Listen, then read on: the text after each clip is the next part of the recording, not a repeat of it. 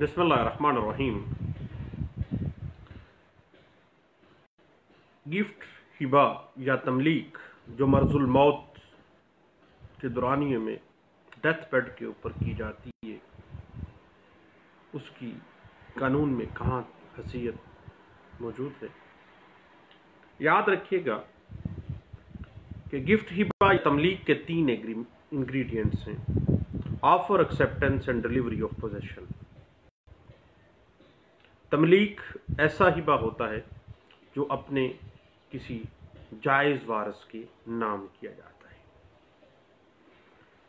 Hiba, gift या तमलीक के लिए जो डोनर है, जो हिबा करने वाला है, वो जहनी और जस्मानी तौर पर तंदुरुस्त मुसलमान होना ज़रूरी है। यानी एक ऐसा शख्स जो जहनी और जस्मानी तौर पर तंदुरुस्त हो, अपने नफ़ा नुकसान को जानता हो। और अगर वो जहनी तौर पर दुरुस्त नहीं है तो इट मीन कि वो आफर किस चीज़ की कर रहा है। जब जहनी तौर पे ही वो प्रूडेंट माइंड ही नहीं है तो फिर वो किस चीज़ की ऑफ़र कर रहा है। इस बात को इंटरप्रेट किया गया था 1994 S C M R page 1870 में, और वाज किया गया कि जहनी और जस्मानी तौर पर तंदुरुस्त होना एक डोनर का गिफ्ट के लिए लाजमी है।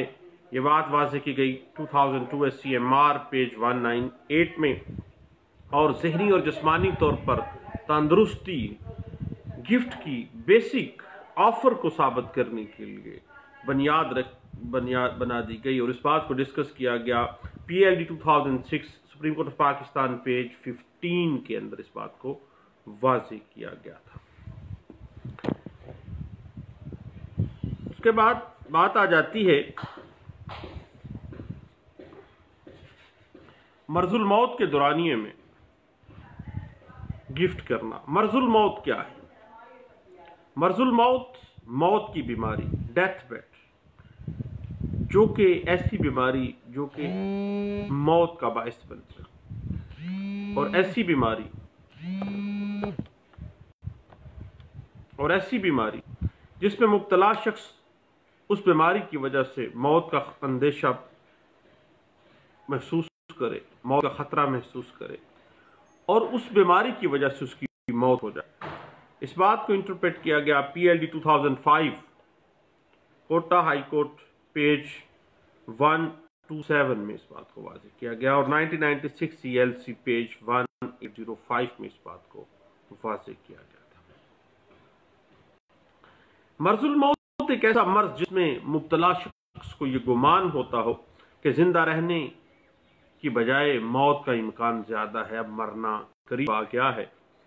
और कुछ अरसे तक, यानी आमतौर पे बाज जूरिस्ट इसको छः माह तक की बीमारी, मौत तक जाने वाली बीमारी कहते हैं। बाज इससे ज़्यादा। इस बात को इंटरप्रेट किया गया, PLD 2015 Lahore high court page 103 में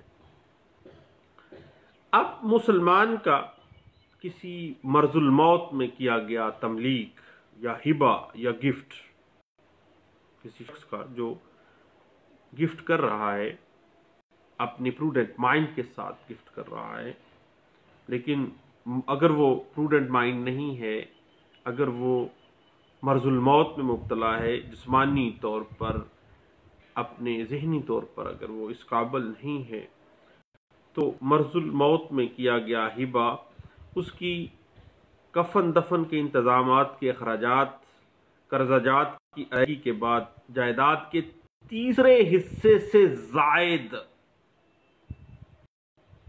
हिबा जो है मुसर नहीं हो सकता। प्रोवाइडेड डेट माँ सवाए इस चीज़ के, कि हिबा कनिंदा की मौत के बाद इसके वासान उससे जायद देने पर राज़ी हो जाएँ। ये है असल नुक्ता कि जब एक बंदा गिफ्ट कर रहा है मर्जुल मौत में तो उसके कफन दफन के इंतज़ाम उसके जितने अखराज हैं, वो उसमें डिडक्ट किए जाएँगे। जितना कर्जा उसने देना है, उसको माइनस किया जाएगा। अगर कोई विल है, फिर उसकी कंप्लायंस भी देखी जाएगी। और देन जो जायदाद बचेगी, उस जायदाद के तीसरे हिस्से से जायद का हिबा मुसर नहीं होगा। माँ सवाए इसके कि उसकी मौत के बाद उस हिबा करने वाले की मौत के बाद उसके वारसान तीसरे हिस्से से जायद देने पर रजामंद हो जाए। अदरवाइज़ नहीं होगा। इस बात को इंटरप्रेट किया गया 2005 S C M R page 135 के अंदर और 1988 सी एल सी पेज 1507 में इस बात को इंटरप्रेट किया गया था।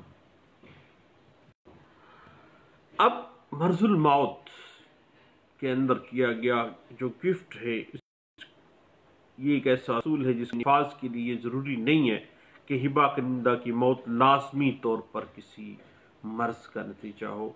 यानी वो कोई भी, अगर एक बीमारी में मुबतला है तो वो किसी और बीमारी में भी, चूँकि वो लाग हो चुका था डेथ बेड पे चला गया था।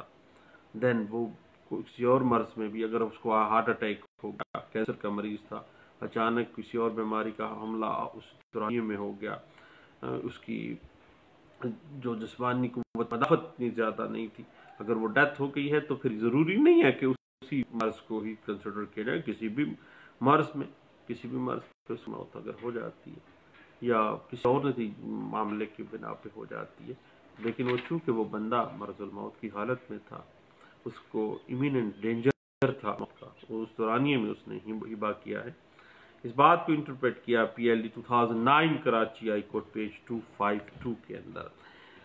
अगर हिबे के इंतकाल के वक्त जो वाहिब है, डोनर है, उसकी उम्र ज़्यादा है, बीमार है तो ऐसा हिबा मशकूक तस्वर किया जाता है। इस बात को 2016 S C M R page 1417 में सुप्रीम कोर्ट ऑफ़ पाकिस्तान ने वाज किया था। अब मरसुल मौत का अगर कोई शख्स गुजर लेता है तो याद रखिएगा कि अगर कोई बंदा उजर ले रहा है कि गिफ्ट जो है वो मर्जुल मौत के दौरानिए में किया गया है तो मर्जुल मौत के उज्र को साबित करने के लिए ज़रूरी है कि जो हिबा करने वाला डोनर है, उसकी मौत उस बीमारी से हुई हो।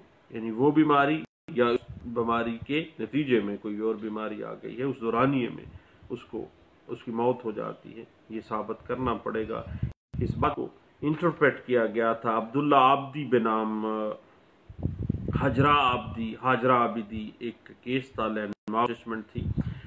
PLD 2009 Karachi high court page 252 में इस बात को इंटरप्रेट किया गया था अब बात आ जाती है कि मर्जुल मौत के दौरानिए में किया गया जो हिब है, उसमें जो हिबा करने वाला है, उसकी बीमारी मर्जुल मौत जो है, लाजमी तौर पर ऐसी नवीयत की होनी चाहिए। बसूरत तरीके दिमाग में ये यकीन पैदा करती हो कि उस शख्स की मौत इसी बीमारी से होगी, उसके जहन में ये ख़तरा बहत जाए उस दौराने में वो इतना लागर जिसमानी तौर पर, जहनी तौर पर वो दुरुस्त तंदुरुस्त नहीं होगा। दैन उसको मर्जुल मौत का उसर जो है, वो लिया जा सकता है अदरवाइज़ नहीं लिया जा सकता।